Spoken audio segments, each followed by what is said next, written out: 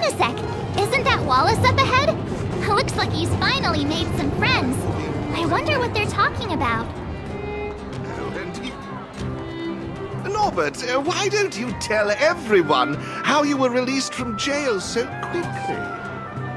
Selling cultural relics and impersonating Silvermane guards are both heinous crimes. Well, it was all thanks to my uncle, you know. Ah, I remember. Your uncle is Minister Knoll. He heads up the Department of Transportation, no? Uh, yes, you, you knew that too. You're shameless, Norbert. Not to be rude, but if I were thrown in jail, I wouldn't possibly ask my father to bail me out.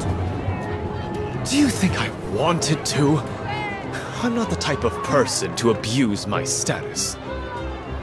Well, I don't really know about that. Get off my back, will you? I had to deal with hardened criminals in jail. Now that I'm free, my supposed friends are ganging up on me. Looks like things are getting heated. I think we'd better get out of here.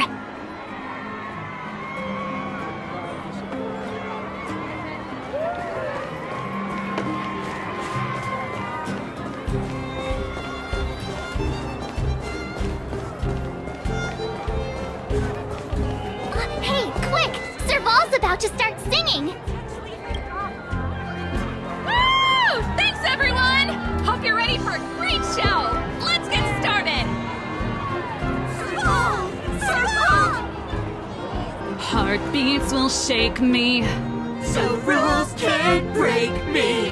Crank the sound and let your soul be free.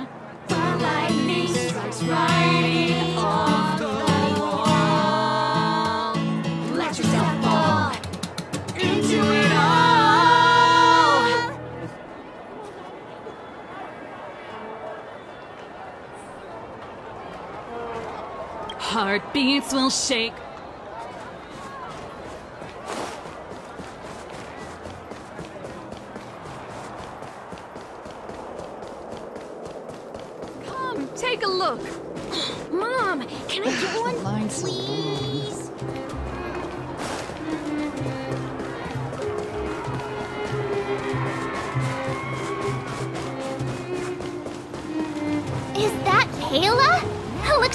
Teaching the kids again.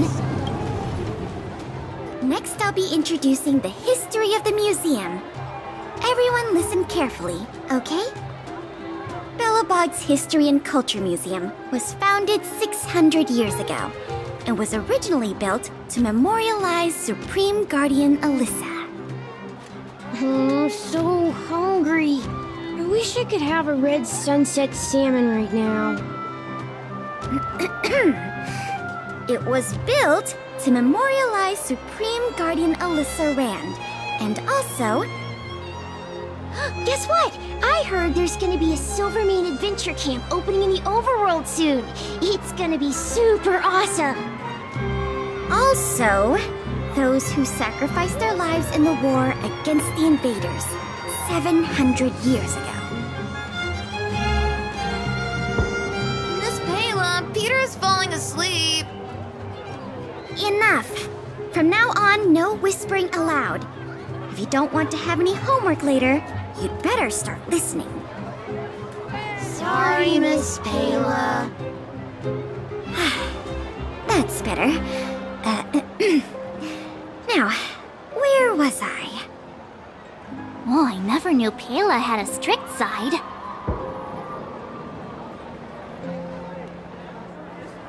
Ah, phew.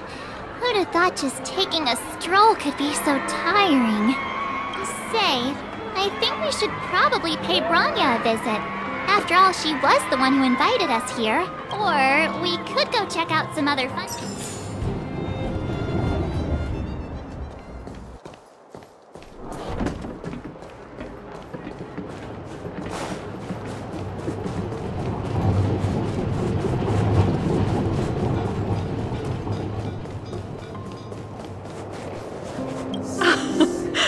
Well, don't wait for them to get cold now.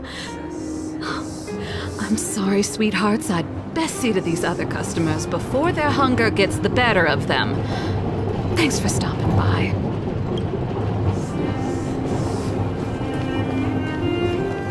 The Supreme Guardian mentioned there'd be mystery guests attending the Soulworm celebrations, but I didn't think it'd be the Express crew. I hope you had a smooth journey. I should have dispatched Silvermane guards to welcome you on arrival. My apologies.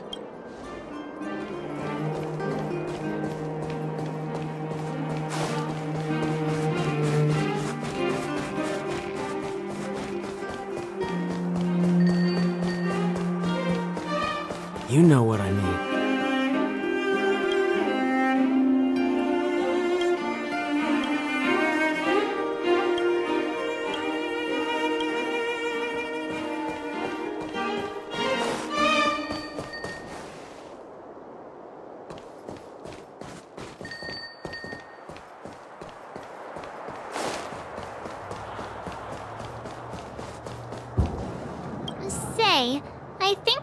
probably pay Bronya a visit.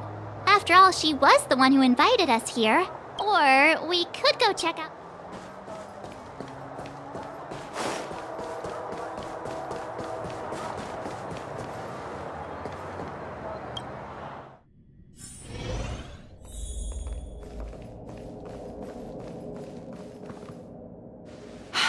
I understand the difficulties that this world is facing, Supreme Guardian. Belobog's current financial burden cannot be pinned on you, nor anyone else for that matter.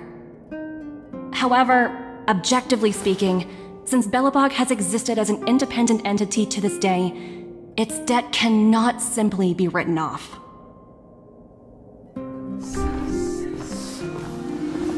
Oh, it looks like we have some visitors. Bronya! And Topaz? You're here too? I guess you've already started your business talks. We'll get out of your way if. It's no bother. We've pretty much wrapped things up already anyway. Please consider my plans carefully, Supreme Guardian.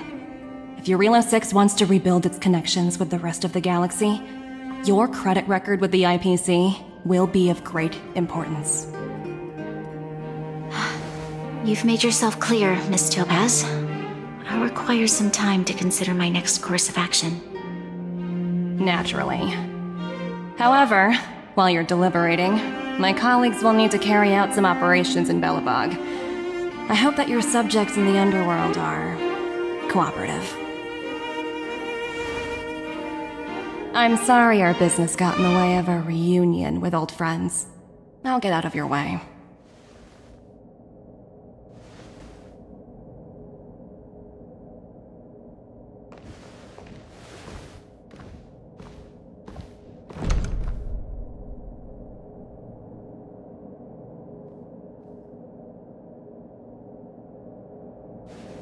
Is everything alright, Bronya? I didn't know Miss Topaz was so. intense. She seemed nice when we met her. It's good to see you two again. Welcome back to Belobog. I'd planned a special reception, but I had to deal with an unexpected guest. The lady you just witnessed, she claims to represent the IPC. There's no need to keep either of you in the dark. To tell the truth, I have too much weighing on my mind right now to even think about the Soulworm Festival. Hmm. Since you've already made her acquaintance, I needn't explain who she is. I'm sure you've heard pieces of Belobog's history the first time you visited. The Legion's invasion 700 years ago, how the Stellaron brought about the Eternal Freeze. It seems that much of Belobog's history from that time was buried deep beneath the snow. Those memories were lost and weren't passed down to the subsequent generations of Supreme Guardians.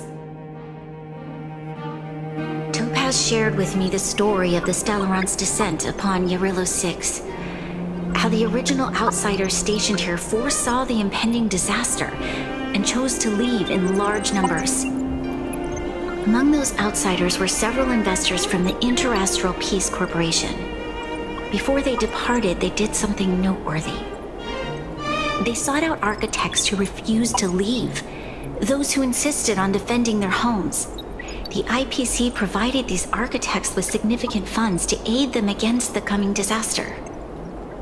It was with those funds that Belobog was able to construct its immense walls. Even the initial funding for the development of the first batch of automatons was drawn from the same pool. Wow, that's a pretty incredible story. So, does that mean Topaz's business here is to collect a debt from Belobog? Yes, I'm afraid so. That's ridiculous!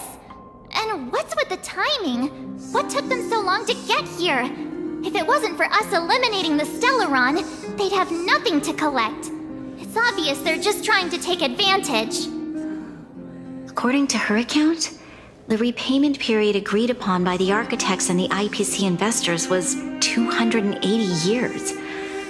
However, less than a century after the loan was taken out, the connection between Yarilo 6 and the rest of the galaxy was completely severed. The IPC deemed that the disaster had caused irreparable damage and that there was no civilization left to reclaim the debt from. As such, they considered the owed sum permanently lost. It wasn't until the Stellaron crisis was resolved that the IPC discovered that Belobog had survived. And that's when they sent Topaz over to collect the debt. And the interest. The debt owed is an astronomical amount. I don't even know how to read such a long string of numbers. Before you both arrived, Topaz warned me that if the payments were delayed, the IPC would give her the authority to employ strong measures. Oh, I had no idea things were like this. Here I was thinking the IPC had come to rebuild Belobog, not extort it.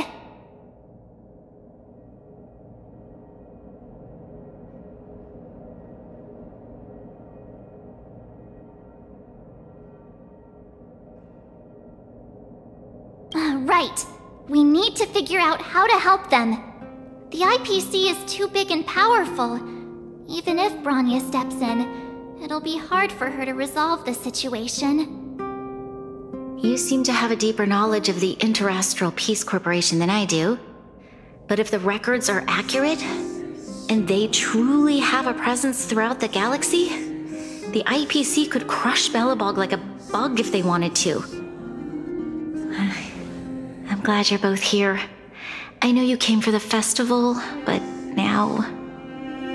Now. I must ask you and the Astral Express for help. Do you think you could persuade Topaz to reevaluate the situation? The Express's reputation precedes it. Perhaps there's still hope? Have no fear, Bronya. When a friend's in need, the Nameless will always be at their side.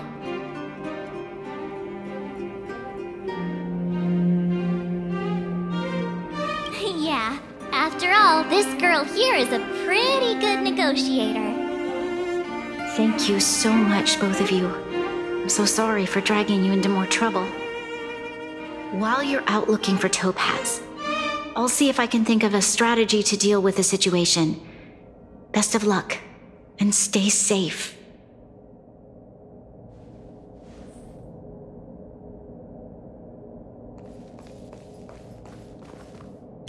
Apologize for dragging you into Belobog's affairs again. But when faced with an entity as powerful as the IPC, we need all the external help we can get. While you're out looking for Topaz, I'll see if I can think of a strategy to deal with the situation. Best of luck, and stay safe. Topaz shared with me the story of the Stellaron's descent upon Yarilo 6. How the original outsiders stationed here foresaw the impending disaster and chose to leave in large numbers. Among those outsiders were several investors from the Interastral Peace Corporation. Before they, they sought out architects who refused to leave, those who insisted on defending their homes. The IPC, it was with those funds that Belobog was able to construct its immense walls. Even the initial funding for the development of the first batch of automatons was drawn from the same pool. According to her account, The repayment period agreed upon by the architects and the IPC investors was 280 years. However, less than a century after the loan was taken out, the connection between Yarilo 6 and the rest of the galaxy was completely severed. The IPC deemed that the disaster had caused irreparable damage and that there was no civilization left to reclaim the debt from. As such, they considered the owed sum permanently lost. It wasn't until the Stellaron crisis was resolved that the IP. Thank you. I believe in you.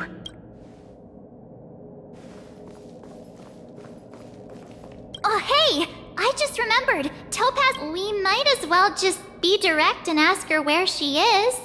She.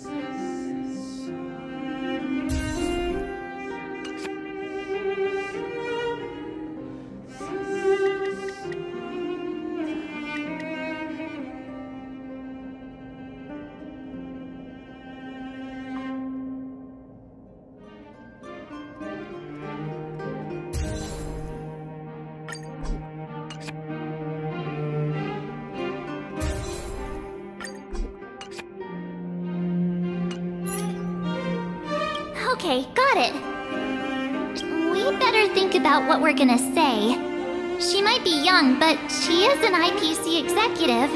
She's definitely no pushover.